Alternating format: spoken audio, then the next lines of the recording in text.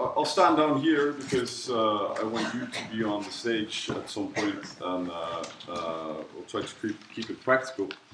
Uh, my name is Erik. Good morning, everyone. Good morning. Good morning. I hope you're all well. Um,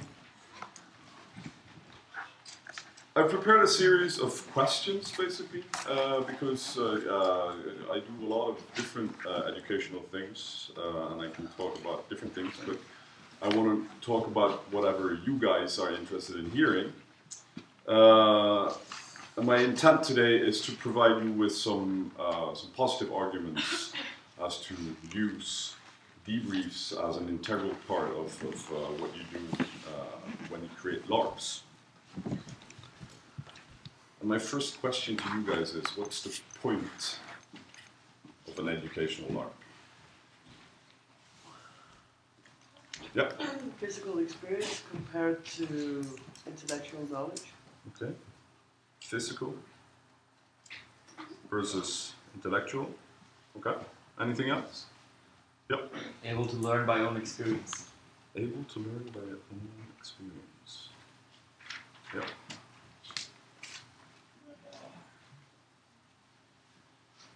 Yep. Sort of ties the two together, making sure that the experience is sensory, um, something that you actually feel, not just thought experiments. Yep. Complexity? Complexity. Okay. Yep. Making it, uh, learning fun. the, the first one, we should have. Making learning fun. Yep. More memorable than reading a chapter in a book. More memorable.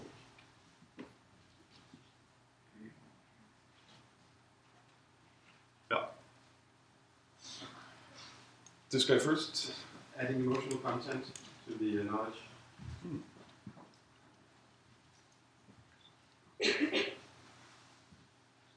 Okay.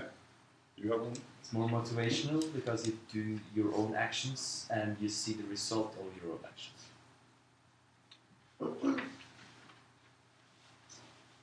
Okay, I'll stop that question for there. I think we have loads of things to go on on, on the first page right there.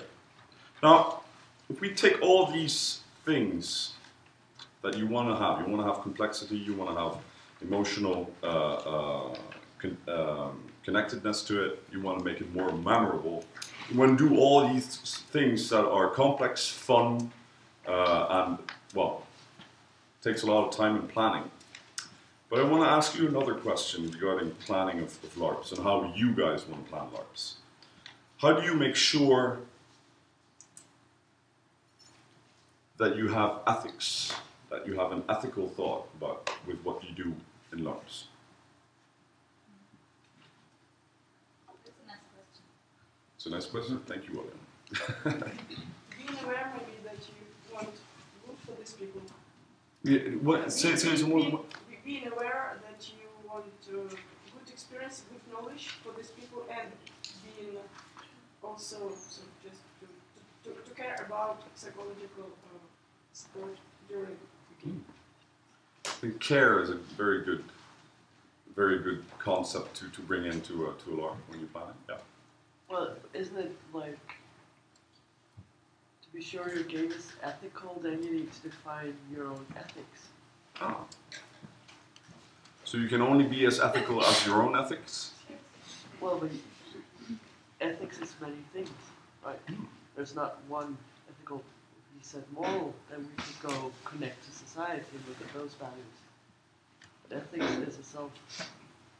It's a exploratory self process, right? propelling system in a sense, but yeah. Um, then my question would be what, what, what are your ethics in planning? That depends on what my goals are. Good.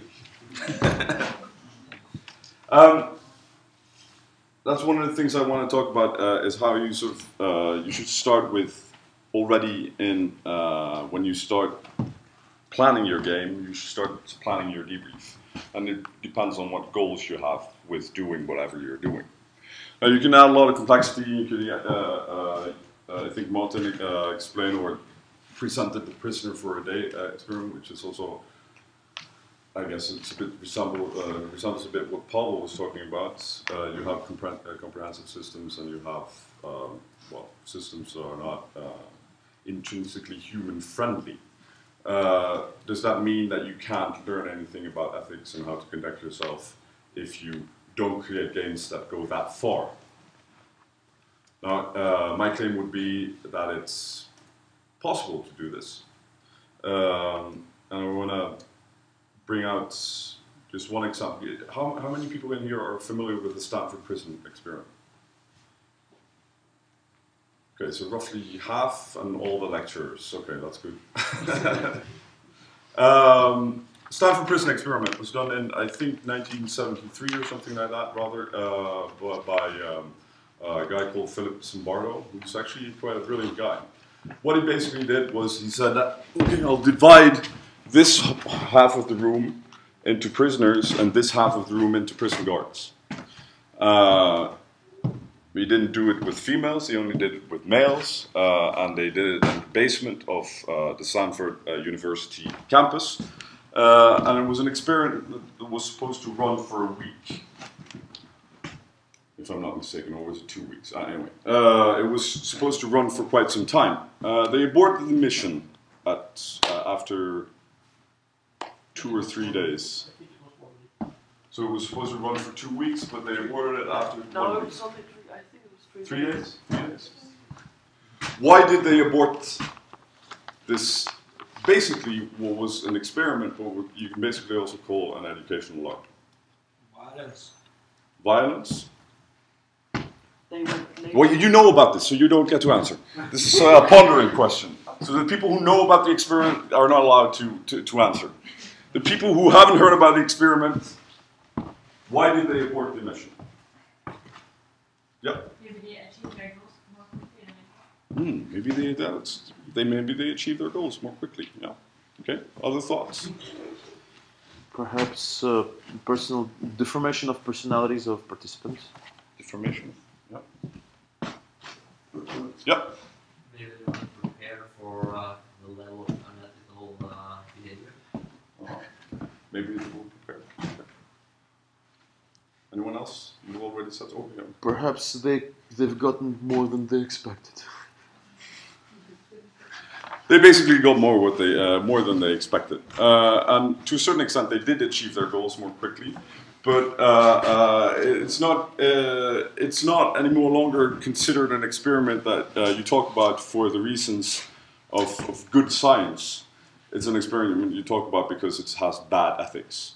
Basically, they had no control of uh, on the effect it had on uh, both the prisoners and the guards, which is interesting the guards took their roles to heart and became uh, not directly violent, but mentally violent. They, they put them into a system uh, uh, which wasn't good on either of them, and um, they made sure.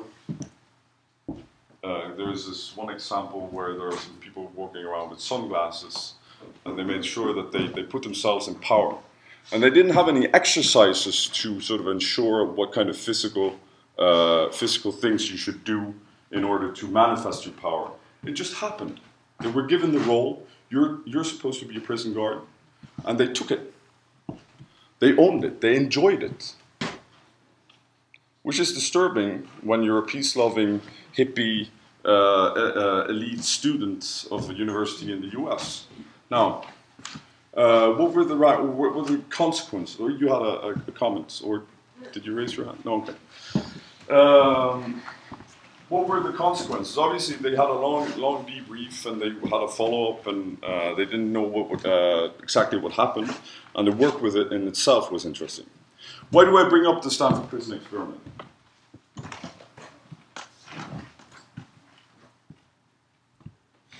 Because it has something to tell us about ethics. It has something to tell us about ethics. Yeah. Uh, it has something to tell us about planning, ethics, and how you should try and care for the people that you work with. And I think that's actually a very uh, useful concept in, in, uh, in the sense of a sort of have that as a baseline. What do you care the most about? Do you care the most about the storyline, the characters, uh, your goals? Your goal should always be to care mostly about the people you have in front of you and what they're supposed to leave here, uh, uh, leave the room with, or leave the uh, experience with. Um, now, obviously, people are different, and you can never plan to please everyone. But you can plan to have a framework that they can work within. Um, Lars and myself uh, are going to do this, uh, uh, our lectures together, and we're going to do, as you see, there are chairs here. We're going to do a couple of experiments uh, here. We'll try to keep them ethical. Uh, and this is to give you guys a hands-on experience of how to debrief. What would you focus on? What would you talk to people? Because I can stand here and talk about uh, uh, my things all day long, and that's really kind of boring for everyone except me. Uh, so I want to do a couple of experiments, and then we're going to debrief them publicly here in the room. And then I want to uh, hand it over to you and let you try to debrief. You- You've already been doing a bit of it, uh, as far as I understand, every evening, but we're going to do a couple of experiments here. So, for the first experiment, trying to be ethical, I'll try to explain you what uh, uh, we're going to do. You see, uh, there are going to be four or two two pyramids of chairs here with seven uh, seven people in each pyramid. So I'm going to need 16 volunteers because each team will be eight people. Seven of them will, will be sitting, and the last one will be monitoring the other team. We're basically going to have a competition here. Now, uh, before you sign up to be volunteers for this experiment, uh, I want you to be aware uh, that you might not be happy with your own uh, performance after the experiment. Because there's going to be a winner and there's going to be a loser. Okay?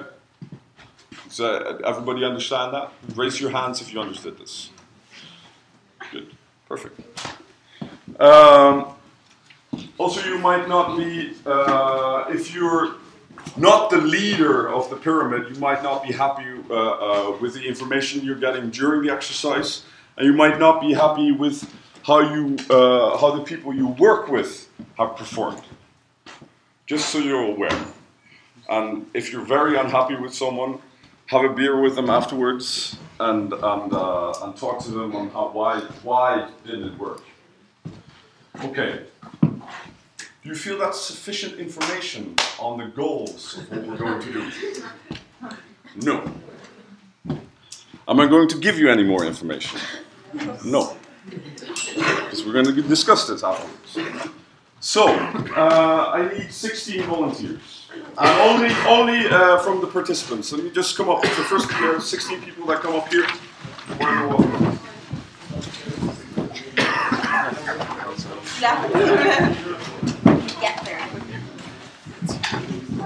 Six more people.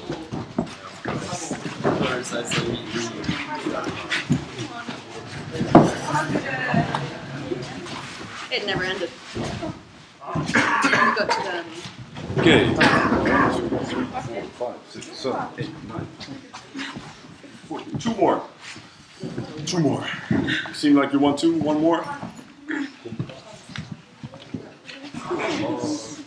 Yeah, was it correct? Come on. No, no, no. Not lecturers. Okay, I want to. Oh, you're not. You're not. Oh, you were just a latecomer. Oh, that's good. Okay, so uh, let's do this scientifically here. Uh, the eight of you go over here. Um, one of you is going to be in monitor, so you just need to decide who's going to be the monitors. All the rest of you sit down on a chair that's facing that way. And the same for, for you guys. Yeah, one of you is going to be a monitor. Uh, Monitor, standing up, looking at the other, the other team. good. Seven and and one. Okay, so then you go, uh, then you sit down on the top. And you stand here as the I don't. We'll get all the. And everyone has a pen? Yes. Yes, and uh, you will have uh, some piece of paper. Depends on the chairs. No. Okay, so minor, you're the one, you, you don't have a pen? Okay. Well, actually, you don't need it.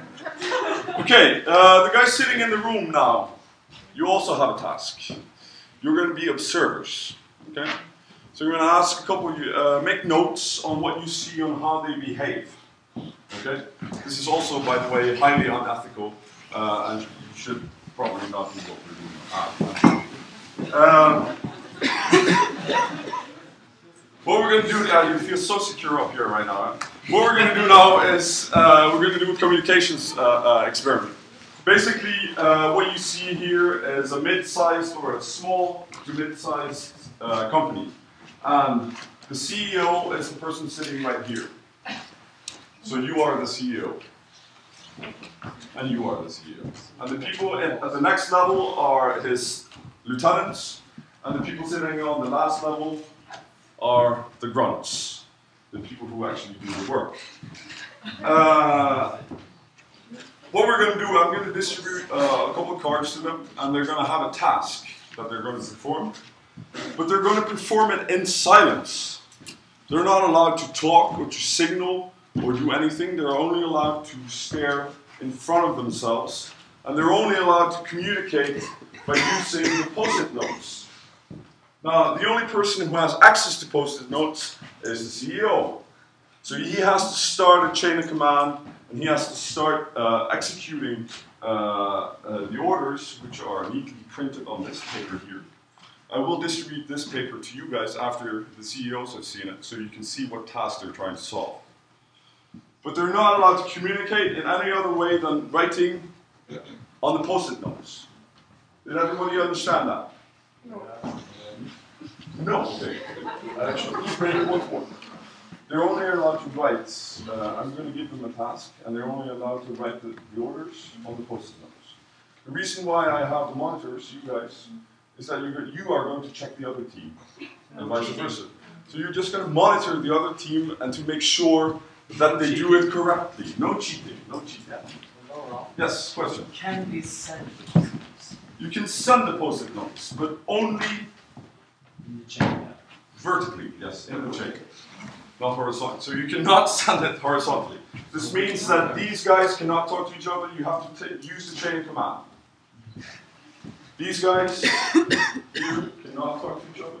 You have to use the chain command.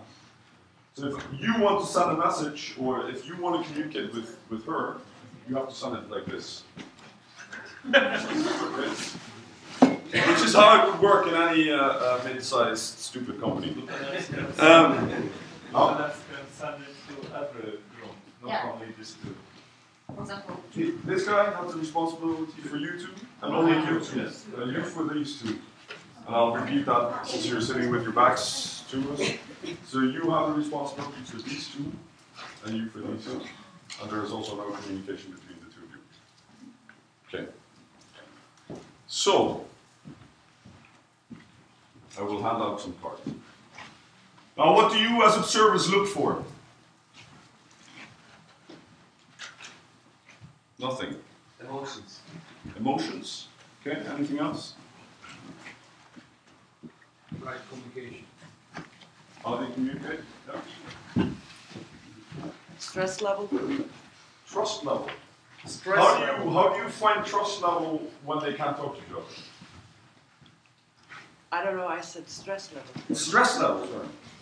How do you find the stress level if they can't talk to each other? Well, you can see if they work frantically or calmly, and if they seem secure in what they're doing. What's more. If they work, uh, if they look stressed. What is to look stressed? uh, hurried. Uh, they seem confused. If they don't seem like they they know how it works or can make it work. Okay. They seem confused. How do you how do you deem if someone seems confused or not? Body language. What kind of body language signals confusion? Well, the opposite of what signals confidence. You're waffling. You're not answering. Intolerant movement of different body parts. Incoherent. Like the head moves stranger than the arms.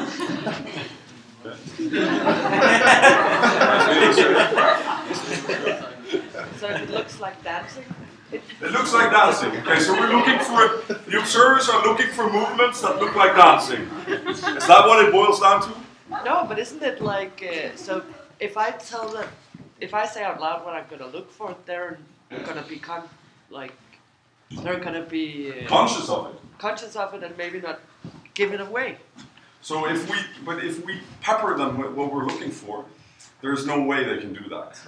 So anyone else, what would you be looking for as observers? BT.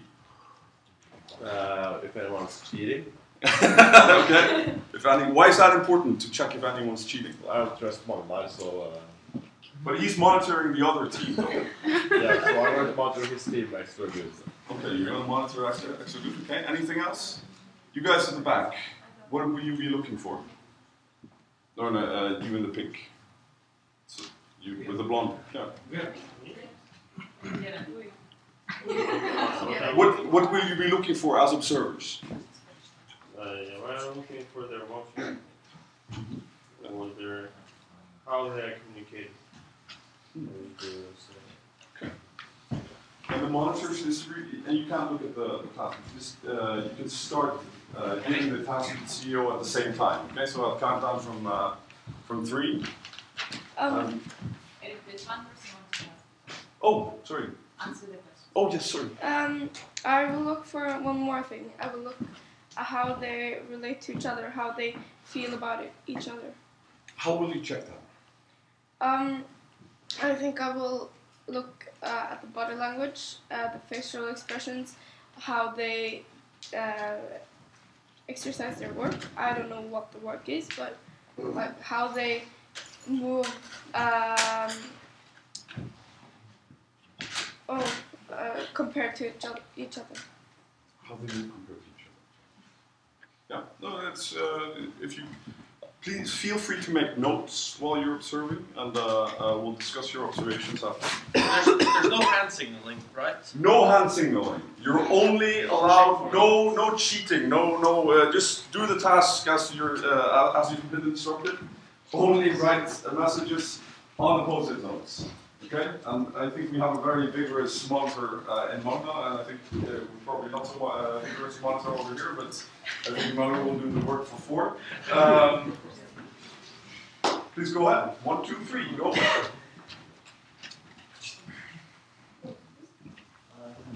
Yes, yes, Yes, yes, that's your task. And you, have, you can't show it. We get handouts with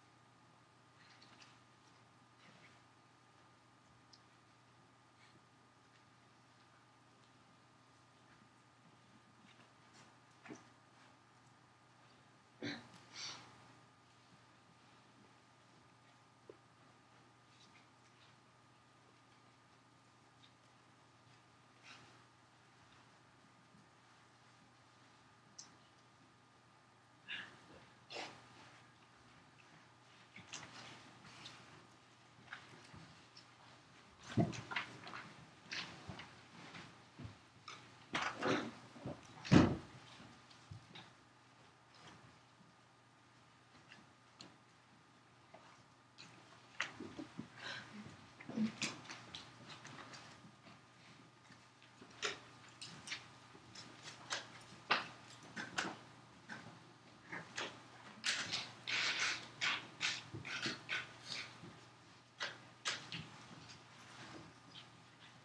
Rules question. Must cards be swapped? What must? Oh yeah, cards must be swapped. Yeah. So he can have more than four cards, in, or in after the transition is completed, he must have four cards in his hand. You can't take a card and give it back. Yeah. So everybody should have four cards on their hands at all times.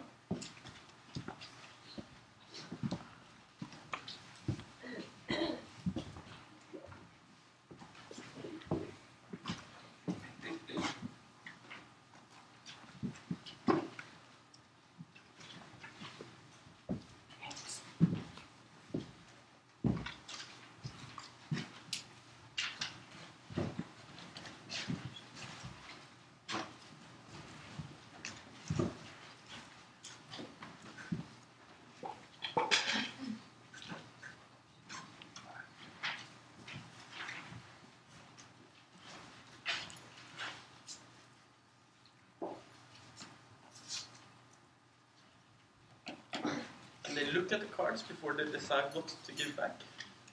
Yes.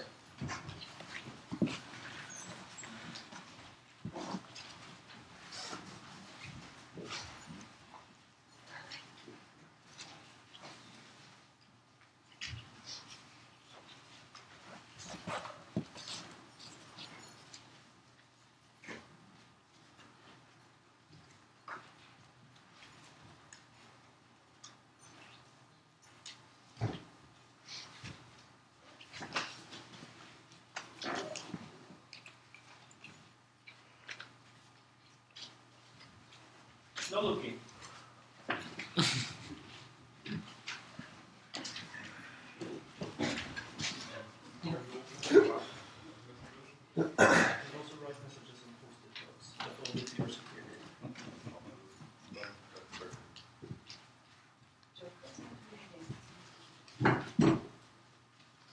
Questions. Are there four jokers in an event?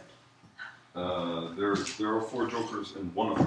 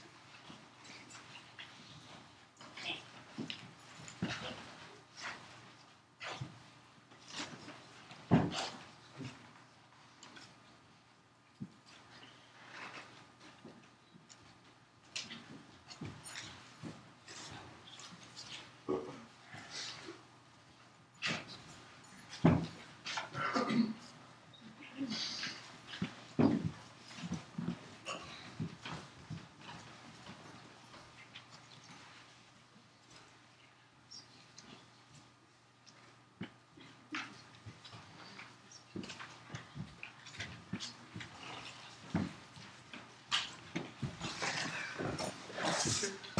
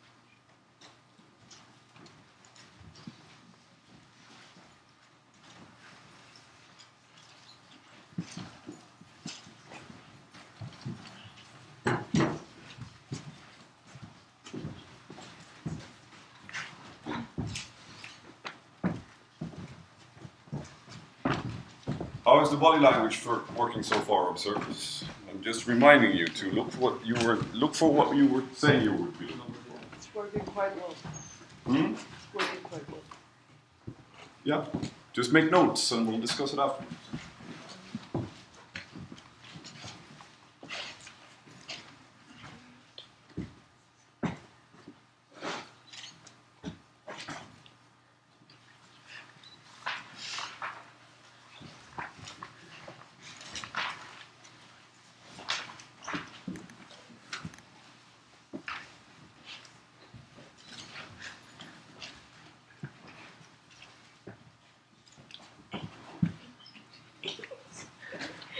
Those questions?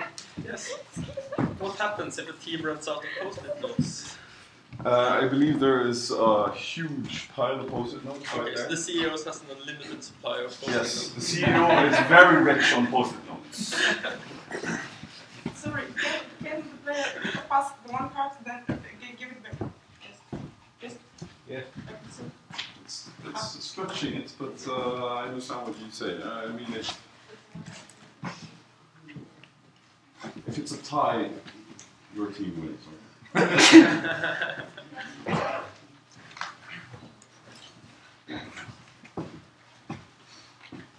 Oh, you can't talk two cards at the same time. No, that's that's breaking the rules. May I note a penalty on team number one?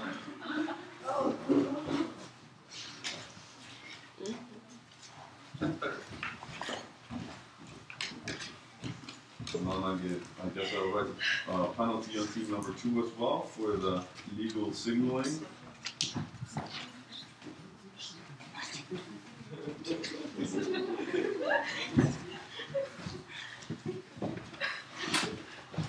Sorry, but it was not a big, it was not a signal. Just, just, just one and just. So I It retract was not a it. signal. It was previous, but I deleted it.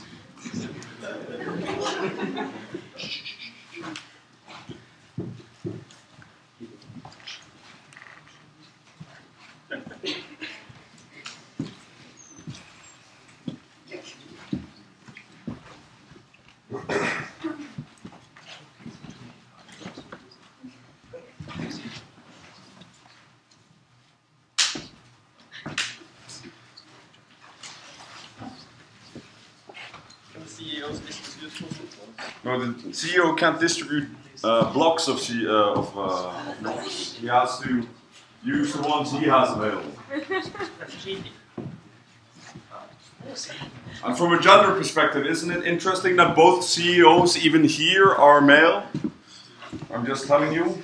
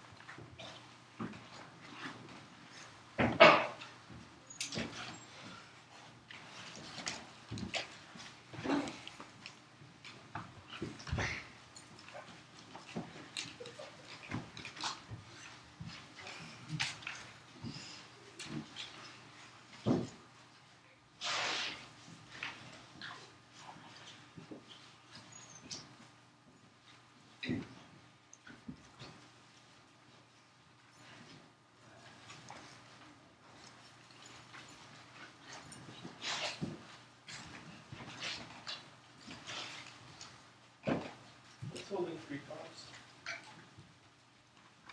Just pop this up and you didn't get anything else. Really noted. Can you tell? No, uh, yeah, that's for me to do. Okay, so you have to swap cards. When you give away a card, you have to receive a card at the same time. I've noted one more objection to team number. One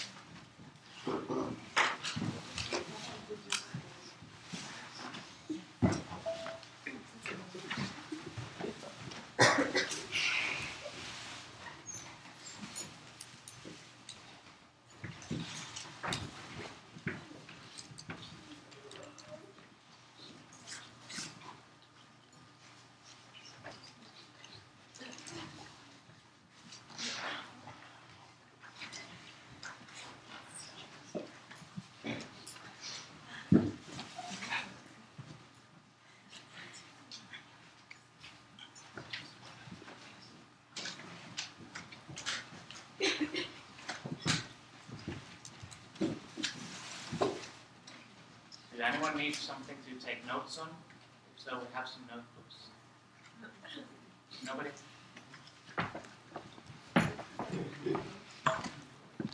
Can I have one anyway?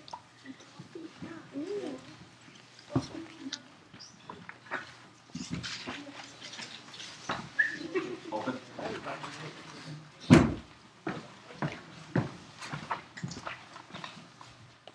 Anyone else?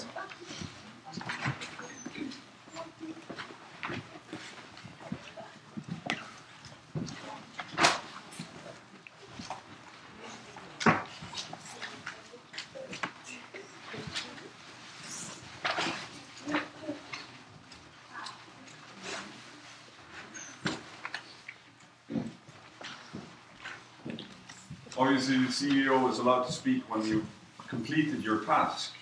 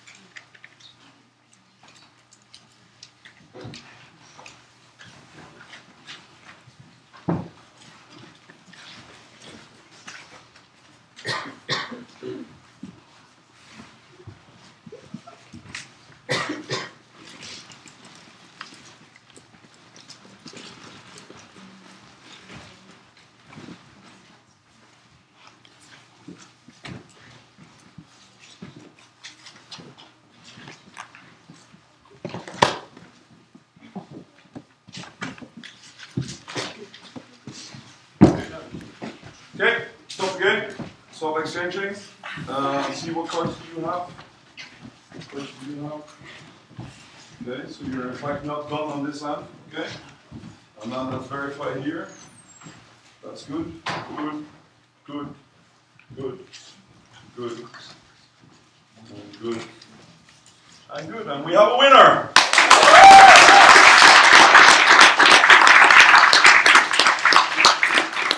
Now, if uh, you guys take the chairs and, uh, and make a half circle here on to the observers uh, in discussion.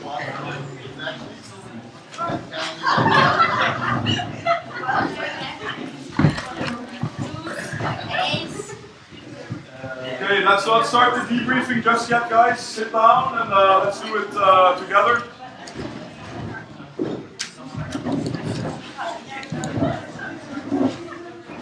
Like shuffling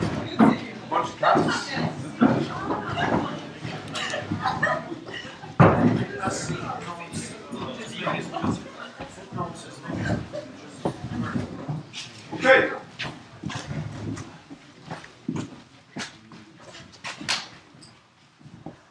How does it feel to be the winners? Feels good. How does it feel to be the losers? Good. Good. As, as often uh, my, uh, as my first point of departure for uh, a debrief is the systemic one, often. And you, know, you want to create a ga- game that has winners and losers. You know what effect it has on people. This is a relatively easy game to play. It's a relatively understandable. Yeah. If you asked us what's legendary winners, and we said, wow, wow, wow, wow, and we went and we like, mm, and all their faces, I think the response would Are there people that do that? yeah. I'm just kind of doing that right now. there are people who do that, and uh, uh, basically what I'm saying is, uh, already in the design of what you're doing, you need to make sure. I mean, if, if there was high stakes here, then we, if we were playing this for a million dollars, or if we were uh, uh, playing it for the freedom of some of our friends, what kind of emotions are you putting in? Uh, uh, are you putting in play by doing that? Um, that's a side note in a, in a sense, but yeah, uh, let's go into the nitty gritty of it. Uh, let's ask the winners first. What did you do to make you win? Cheat. They had the most vigorous monitor of them all, so uh, I don't think uh, I don't think they had any opportunity to cheat. Well, I sent uh, smiley faces to my boss. Why did you send smiley faces to your boss? Uh, well, it was basically all I could do, and I thought it would uh, cheer her up. On the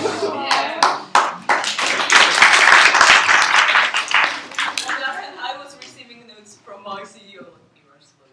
this game is unbeatable. that was already done. You are slow. What does that make you think when you get those kind of notes? Motivation. Screw a CEO, I have my people here. Screw you, I have my people here. Okay, so that's a nice dynamic already there. Yeah. Anything else you did that made you succeed?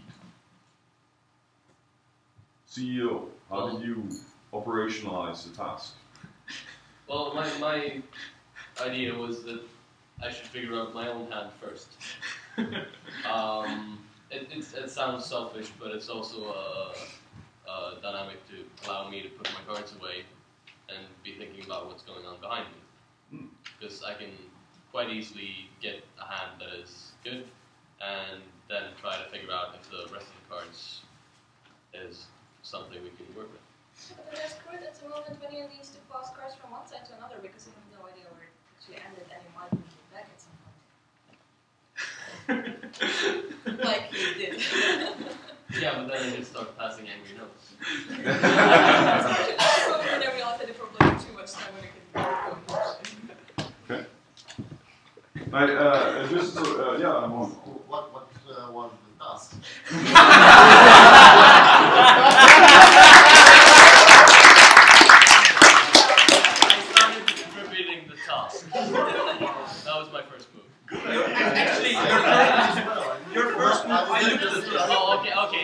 Yeah, and it was not my answer. No. His first task was giving out notes saying, send me all your queens.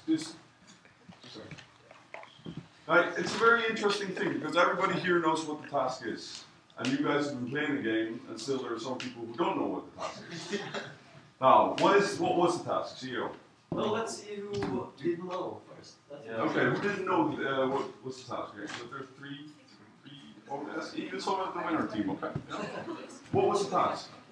Uh, the task was to get together four of uh, the same type of cards. The same number. No, Number or no, kind? same number. Same number. That was my confusion, whether Number it was or supposed to be number or suit.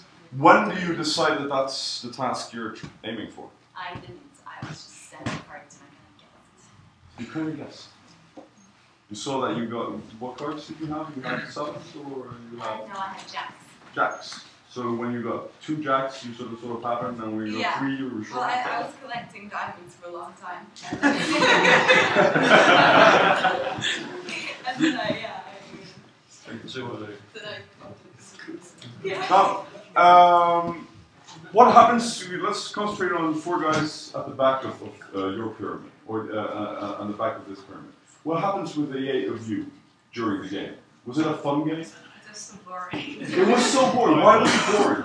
I love the way. Uh, he, he had all the notes and he was giving me almost nothing to do, so I just had to sleep or anything else. Okay, yeah. Well, I have to do things orders without understanding what I'm doing. how about the mid-level? Guys, uh, who was uh, was you and you on the mid-level?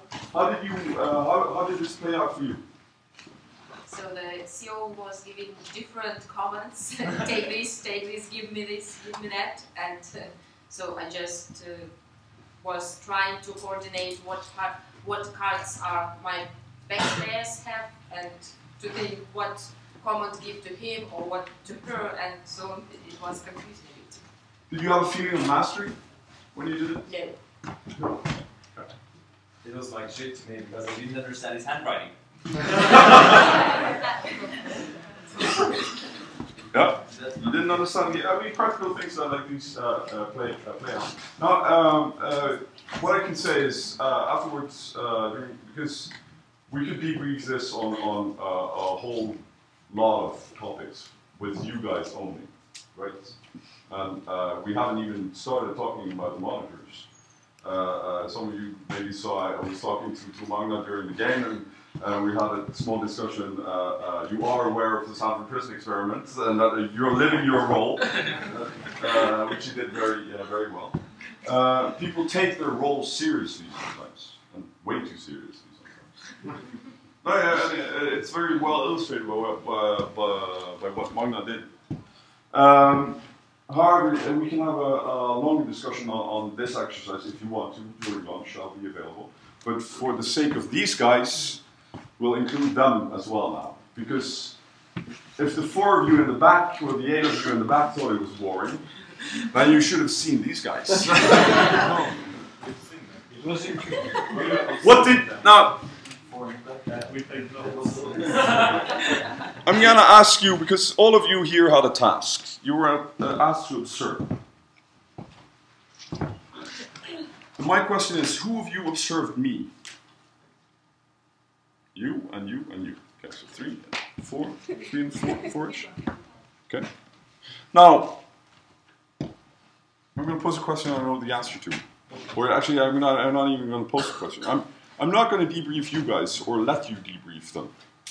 Because uh, when I do things, I think that's a shitty way of doing business. Because if you're allowed to control their reality of their game by saying, you did this and this, and you did this, and then you're both passive, as you all demonstrated. It's boring being the passive part, being the observer. So you're not taking part in, in whatever is going on. Because that's a directive kind of boring. You're still part of something, and your feelings of being bored are interesting in the whole of the game. While it's interesting to hear the observers talk about uh, what they saw in the sense of, of learning, it also uh, uh, there is a distance there that I find uncomfortable because you invite people to co- comment on their reality without being part of it. Now, why did I ask who observed me? And I'm going to ask you, since you didn't put up your hand and you didn't observe me. Why didn't you observe me?